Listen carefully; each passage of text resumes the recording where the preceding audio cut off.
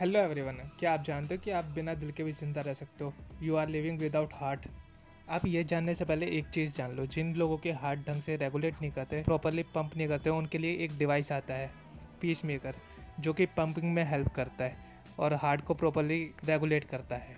क्या आप जानते हो कि एक आर्टिफिशियल हार्ट आता है, जिसको आप रिप्लेस कर सकते हो अपने असली हार्ट से?